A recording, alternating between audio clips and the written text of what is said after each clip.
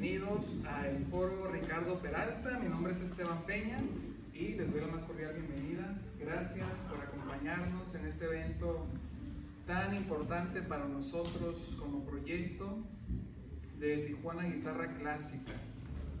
Les voy a platicar un poquito eh, para los que a lo mejor es la primera vez que vienen a un evento con nosotros y no conocen tanto del proyecto. Este proyecto inició inspirado por los festivales de guitarra que ocurren en el, interior de la República, sobre todo el Festival de Paracho, Michoacán y el Festival de Saltillo, Coahuila. Estos festivales se realizan una vez al año.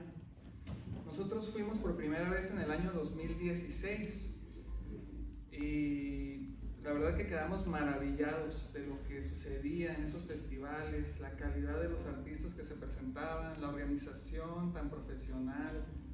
Eh, bueno, dijimos, ¿sabes qué? Tenemos que hacer algo. En Tijuana no tenemos estas actividades, no tenemos esta calidad de artistas, no tenemos los espacios, pero pues algo, por algún lugar tenemos que comenzar. Entonces, eh, Jonathan, Justo y su servidor Esteban, decidimos comenzar en un lugar que estaba en Plaza, en Plaza Pavilion, en zona Río, que se llamaba Búnker Cultural. Ahí nuestro amigo Abis Borboa nos abrió las puertas, estuvimos ahí año y medio más o menos, haciendo eventos una vez al mes con diferentes guitarristas de la ciudad, algunos de Ensenada, otros de Mexicali. Así comenzó, ¿no?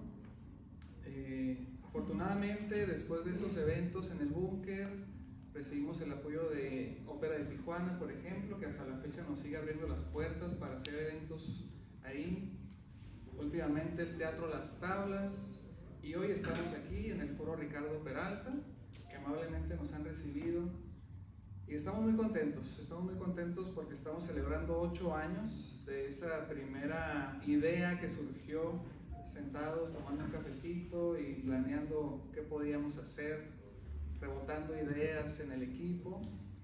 Eh, hace algunos dos o tres años se incorporó Francisco Castañeda y Gilberto López al equipo y pues desde entonces hemos estado trabajando como una asociación, como un colectivo, en pro de la guitarra clásica, de la música de concierto, y pues hoy se cumplen ocho años de eso, así que estamos contentos, gracias una vez más por acompañarnos.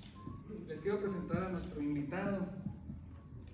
Eh, muchos lo conocemos aquí en la ciudad como cantante, pero resulta que el maestro también es un excelente guitarrista y ahorita lo van a poder escuchar. Tenor tijuanense, uno de los pioneros del canto lírico en Tijuana y me atrevería a agregar de los pioneros de la guitarra también y de los artistas binacionales más importantes de los últimos 40 años. Ha cantado al lado de figuras internacionales como Encarnación Vázquez, Fernando de la Mora, José Medina, Javier Batis, Rodrigo de la Cadena, Doris, Clayton, Lorenzo Negrete y Mariachi Vargas, por mencionar algunos, en su faceta como tenor, egresado del Conservatorio de Música de Oberlin, Ohio, destacado guitarrista que estudió con el internacional cuarteto Los Romeros, galardonado por la Filarmónica de Jalisco en 1989. Y bueno, si les menciono todos los reconocimientos que tiene este señor, pues aquí no, no vamos a pasar. Así que les pido por favor que recibamos con un muy, muy fuerte aplauso al maestro Marco Antonio Labastida.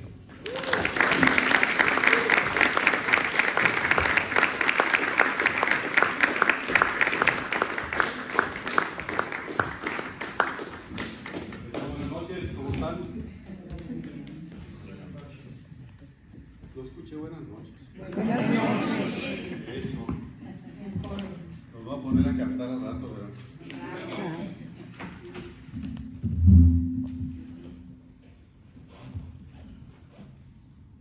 La verdad es la primera, bueno, quiero agradecer primeramente a, estos jóvenes talentosísimos eh, por haberme hecho el honor de invitarme. Este, me siento yo muy honrado de estar aquí celebrando con ellos este octavo aniversario. Y la verdad es que cuando me dijo me dijo justo a, través de ellos tres también, eh, de participar aquí, dije, voy a tocar una pieza o dos, a lo mejor este, les tomo fotografías, ¿no? No sé, de algo ha de servir. Pero yo cuando me dijo, no, eso queremos que toque medio programa, uy, espérame, dije, tengo como 800 mil años que no toco la guitarra en público, o sea, yo la toco en la casa, en su casa, o en eventos que yo tengo cantando, ¿no? Pero ya tocar varias piezas y todo eso, dije, ya es otra, el maestro Clapés y su esposa. Este, pero bueno, ya me invitó y me puse a estudiar desde el mes de julio, me empezaban a doler los dedos, me salían callos, etcétera, etcétera, etcétera, porque es todo un proceso, ¿eh? Yo creo que dentro del arte musical el, el tocar cualquier instrumento de cuerdas es siempre eh, muy celoso, pues el instrumento, el violín, todos esos instrumentos que se tienen que estar practicando todos los días, pues no. Pero bueno, eso es parte de la, de la técnica que se tiene que estar haciendo siempre. Y pues me puse a estudiar y dije, ¿sabes qué? Voy a tocar las piezas que yo tocaba cuando yo iniciaba ya por los 1980, cuando todavía no, no nacía.